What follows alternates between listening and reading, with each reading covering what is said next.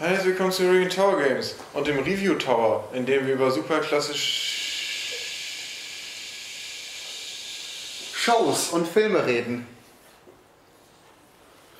Wir haben ja den Star Wars, oder wir haben uns ja vorgenommen, vor dem neuen Star Wars Film die alten Teile alle nochmal zu gucken. Und nachdem wir Teil 6 geguckt haben, gucken wir Teil 1. Jetzt nochmal kurz vorher, bevor wir damit anfangen, was ich nämlich bei Teil 6 vergessen habe zu fragen. Wusstest du eigentlich, dass vorher das Leia Lukes Schwester ist? Ja, hat mich nicht geflasht. Also wusstest du das schon?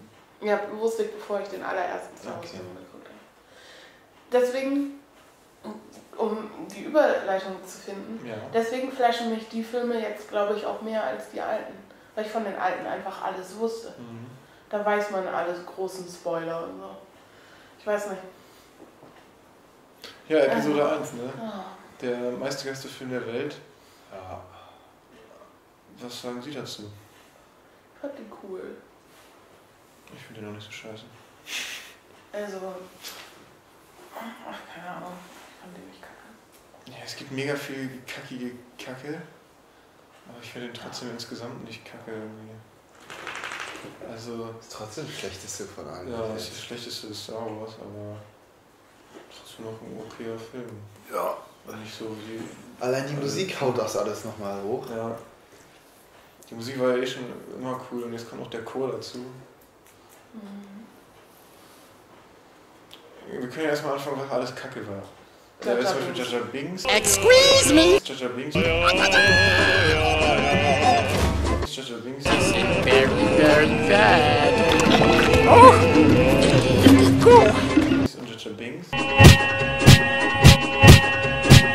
Und Jaja Bings. My puppy.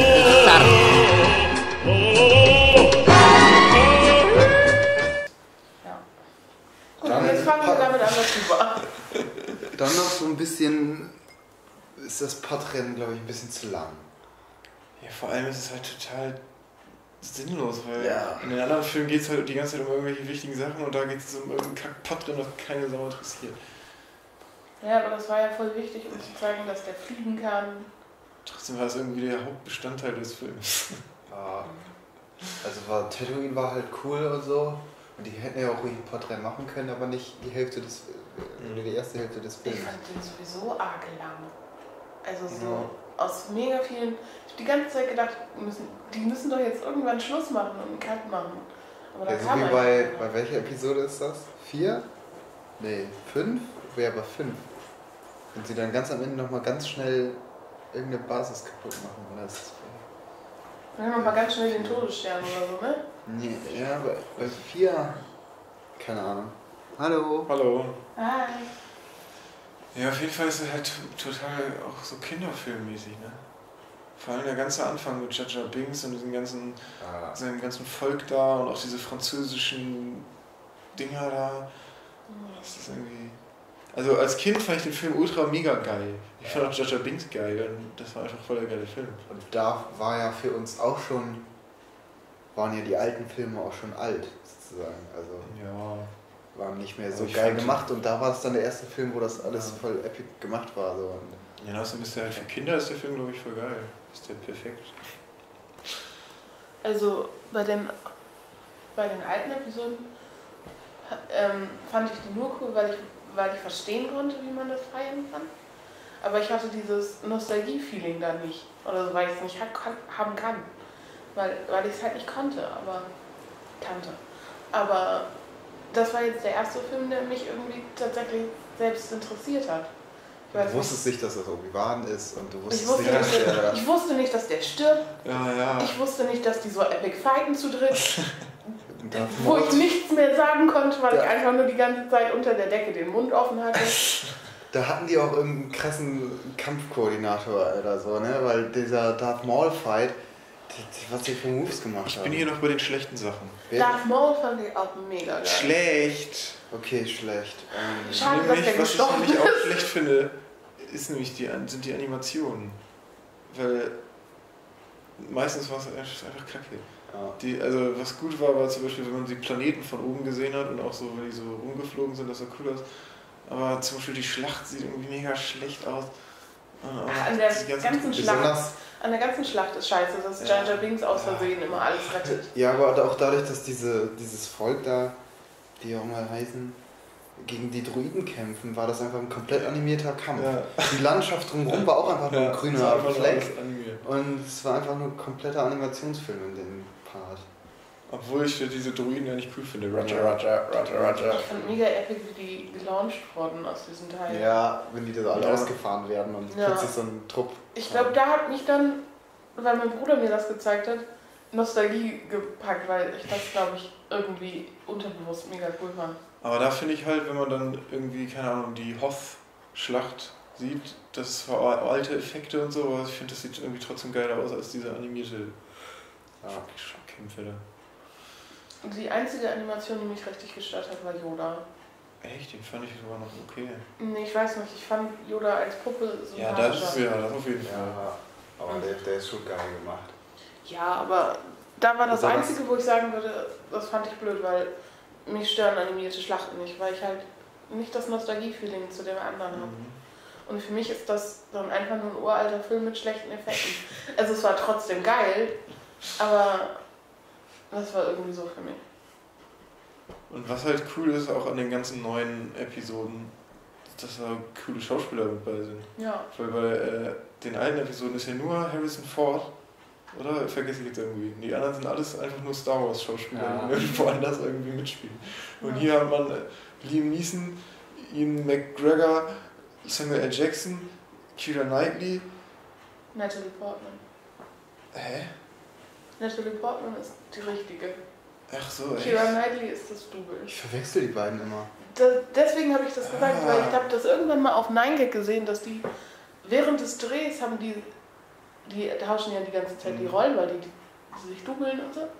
Und die haben das so getauscht, dass niemand wusste am Set, dass die gerade getauscht haben, unabsichtlich. Und nicht mal die Mutter von Natalie Portman, die aufs Set gekommen ist, konnte die auseinanderhalten. Auf jeden Fall ist mir auch das jetzt irgendwie erst aufgefallen, dass am coolsten einfach Liam Neeson ist. ja, Ja, ich bin auch mega pisst, dass der. Ja, habe ich auch gedacht. Der der Charakter ist auch irgendwie voll geil. Dann warum habe ich denn eine sollte viel Erinnerung? öfter vorkommen. Warum habe ich denn eine Erinnerung, dass wenn er tot ist, hinterher Obi-Wan den in irgendeiner Höhle alleine verbrennt? Und nicht da 5000 Leute, alle Charaktere drumherum stehen. Ist das in dem neuen? Keine Ahnung, vielleicht passiert ja sowas ähnliches nochmal. Was ist stirbt noch wer? Weiß ich nicht. Aber ich übrigens war das, weiß ich, dass ich das als Kind mega traurig fand und fast geheult habe, als er gestorben ist. Ich musste mich, glaube ich, eben auch arg zusammenreißen. Ich war sehr überrascht. Die, die haben Darth Maul einfach in der Mitte durchgeschnitten. Ha,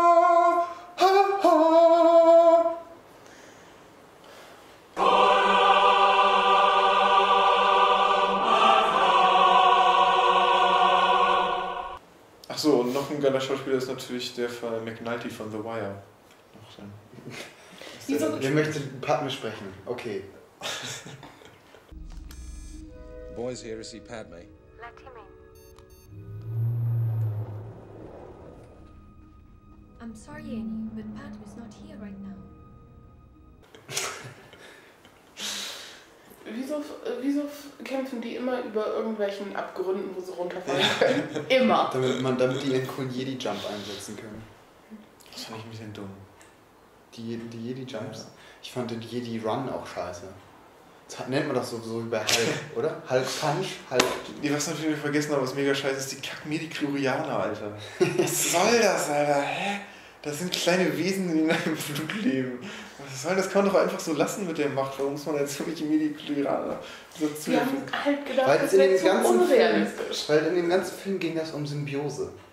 Ja. Und es fängt damit an, dass in deinem Körper in Symbiose die Viecher wohnen. Und dann kannst du auch mit denen reden, wenn du Und das ist ja auch der ganze Sinn, ne? wenn, wenn der äh, Balance reinbringen soll, dann ist das ja auch eine Art Symbiose. Er hat über 20.000 Mediklorianer in sich. It's over 9.000. 9000. Und E.T., ne? Ja, Das ist ja die Theorie, weil E.T. ja auch so Sachen bewegen kann, genau wie Jedis. Er kommt da drin vor bei Star Wars. Und bei E.T. Äh, ist doch die Szene, wenn er, wenn das Halloween und da ist einer als Yoda verkleidet und dann will E.T. unbedingt zu Yoda hin. Ja. Das ist voll geil. Das ist aber auch nur, weil die sich gegenseitig irgendwas versprochen haben, oder? Das Ja, ja, George Lucas und Steven Spielberg sind ja irgendwie Best Friends. Also. Ja, aber es, für mich ist doch so, das könnte eigentlich in einem Universum Ja, auch haben ja dann-. Ist ja in Ja, einem klar. Universum, wenn die da drin vorkommen. Ja. Ja, äh. Auf jeden Fall sind zwei und drei noch cooler. Ja, aber das ist auch das erste Mal, dass ich mich freue, weiterzugucken. also so richtig.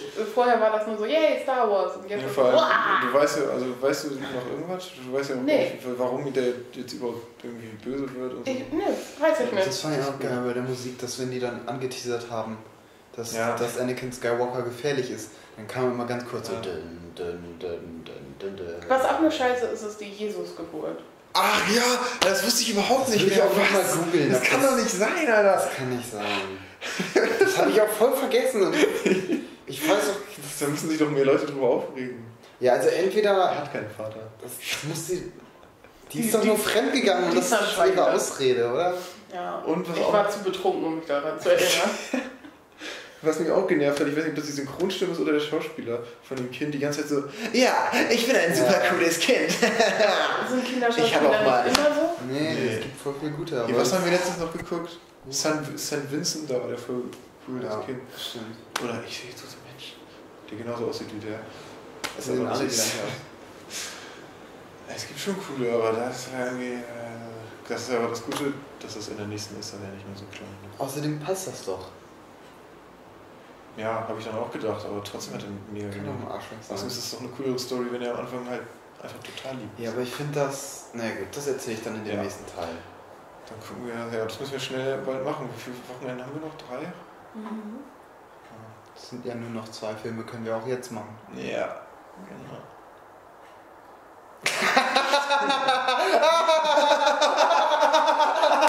du musst mitlachen!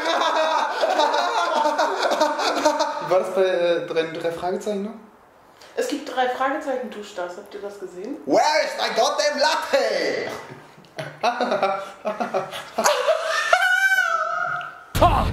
Where's my goddamn latte?